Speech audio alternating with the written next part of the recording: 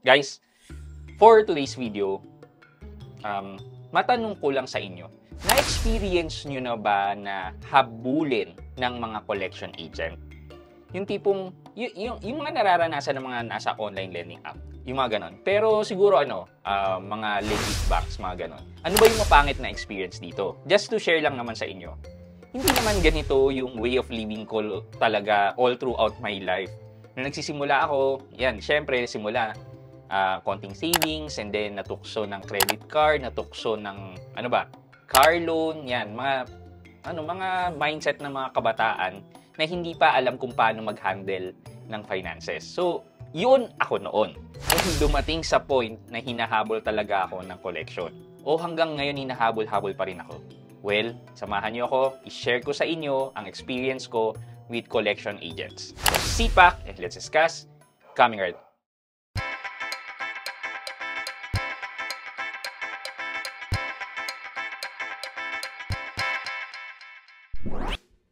Hi guys, this is Pat and you're in Pat Quintos Review TV. So if you're new here in my channel, I do reviews about entrepreneurship, small business, and personal finance na meron akong experience. Ginawa ko na yan ng videos and playlists makita nyo dito sa taas. At kung bago ka dito sa channel ko, you may want to consider subscribing to my channel. So, guys, sabi ko nga, nung bata-bata pa ako, o nagsisimula ako sa corporate setup, nandyan yung tukso na mga credit card, yan. And during that time, parang wala pa akong masyadong gastusin sa buhay. Kaya parang nagsisimula pa lang ako. So that's why, nagkaroon ng credit card, ayan, bili ng gadgets dito, kay Apple, ayan. Tapos, nadagdagan ng mga credit cards. Kala ko nang una, wow, maasenso ako. Pinagkakatiwalaan ako ng mga bangko with credit cards. So sige, ah, spending habits, sige, pagandahin natin yan. Gastos, gastos, gastos. Hindi pa ako yung ano dati na nagbabayad in full kada buwan. So ang ginagawa ko, um, mga kalahati, binabayaran ko, and then may naiiwan na pera, kaya siya nag interest And then, eventually, kumuha ako ng car loan. Um, na-approve ako, so nagkaroon ako ng unang-unang kotse ko, which is, ano lang naman, um, hatchback na Hyundai Getz. Eventually, nalagdagan yung miyembro ng pamilya ko. So sabi ko, ah, parang maliit na yung ano, maliit na yung Hyundai Getz, parang hindi na kami kakasya. Wait, nadagdagan kami, apat lang naman kami. Ako, asawa ko, tsaka yung first baby ko at saka yung bagong baby namin. Pero kumuha ako ulit ng isa pang kotse. Bakit? Eh sabi ko, tumataas naman ako, nag, napopromote naman ako, lumalaki ang kita ko, di ba? Bakit? Ba't hindi ko ba kaya? Yan. Kayabangan. okay. So, yun na nga, uh, kasama ng mga pagdami ng credit cards, dagdag na additional auto loan. So, dalawa rin yung auto loan na binabayaran ko na 60 months to pay or 5 years, at itsura ng bayarin. So, tipong yung first auto loan ko nasa 11,000 pesos.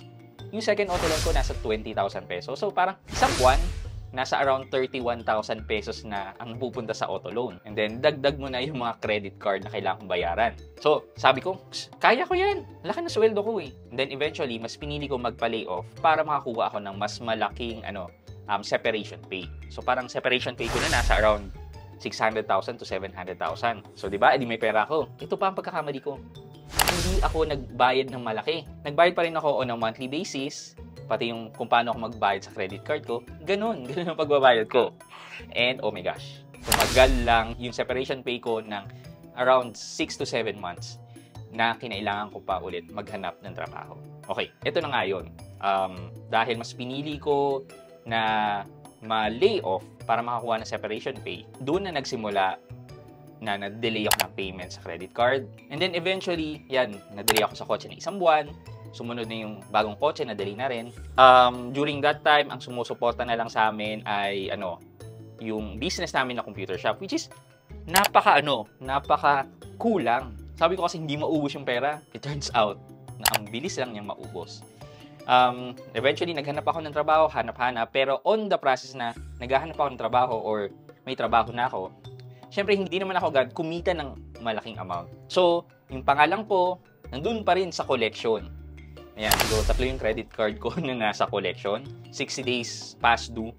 Tapos, ganun din yung ano, yung car loan ko na dalawa na 60 days past due. So, sa car loan, yan, pag naging 90 days past due ka na, automatic na kailangan mo nang i-cash, bayaran lahat ng outstanding na utang mo Kung hindi, hahatakin na yung sasakyan mo. So, yun ang isa sa kinakatakot ko. So, parang, sige, may trabaho na ako, kumikita naman ako. As in, ginajuggle ko yung bayarin. Okay, hindi ko kailangan ipa 90 days, kailangan bawasan ko ng isang buwan, so on and so forth. So, ganun yung nangyayari. Siguro tumagal ng around 3 to 4 months na nasa collection ako. Ito na yung experience ko with collection. So una, so sa credit card, uh, usual, tatawag sila, paulit-ulit na tatawag sila. Um, kailan po kayo makapagbayad? Bakit? Ano yung reason ng delay? Well, naging honest naman ako sa kanila na nawalan ako ng trabaho, pero may trabaho na ako, ito yung araw na sweldo ko, at makakapag-start ako magbayad and hahabulin ko yan.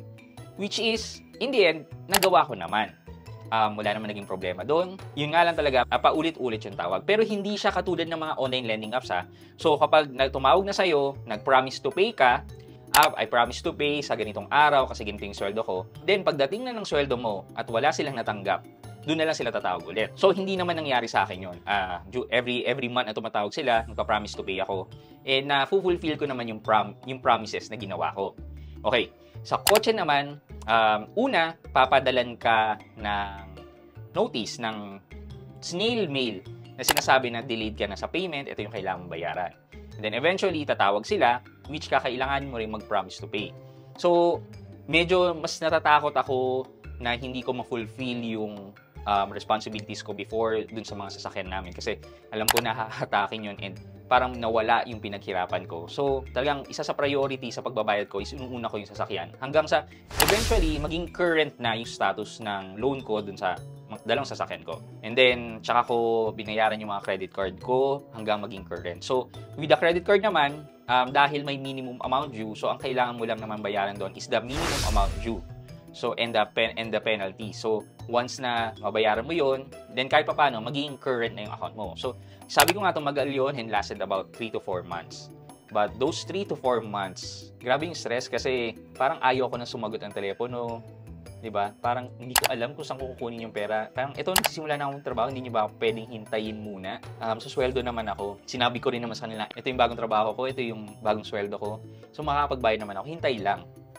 Pero hindi eh, process kasi ng mga collection agent yon na talagang tatawag on the date na sinabi mo, on the date na na-delay ka. It's a very painful process na kailangan ko i-endure during that time. Kasi I made a very bad financial decision nung medyo bata-bata pa ako. But look at me now. Fast forward, ako na yung taong ano, uh, hanggat maaari, ayaw ko ng interest. May utang ako, pero hanggat maaari, pinipili ko yung ano, utang na may pinakamababang interest. Uh, pangalawa, kung kaya kong bayaran in full yung mga credit card, babayaran ko yan. And yes, yung sa mga credit card ko, isa na lang yung credit card ko na hindi ko mabayad bayaran in full. Pero darating din yung time, babayaran ko rin yan in full. Meron lang ako medyo pinaprioritize na mga bagay-bagay. Pero yun nga, yun yung mga bagay na natutunan ko. And nagpapasalamat din naman ako na dumaan ako dun sa painful process na yan. Kasi kung hindi, kung ano ako noon, bakang ganun pa rin ako ngayon. So, hindi ko siguro natutunan yung lesson, yung value ng pera, yung pagtitipid, yung pag-a-analyze kung, ha, mas worth it ba yung loan na yan kesa dito? Mas worth it bang i-loan ko yung kotse kesa i-cash ko na lang?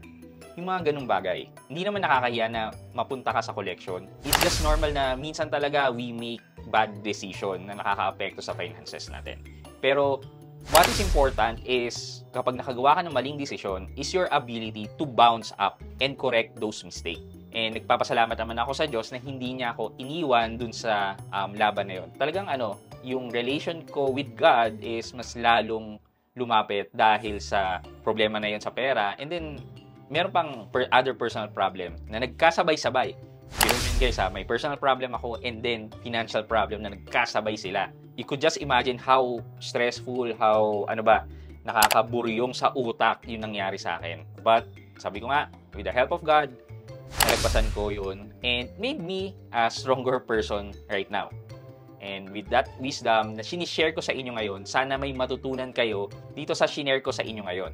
Na yung pagiging YOLO, you only live once, eh, hahabulin ka talaga bandang huli. So, if I were you, bata ka pa, ikaw nanonood, kayong nanonood dyan, mga kabataan, well, start looking at your future.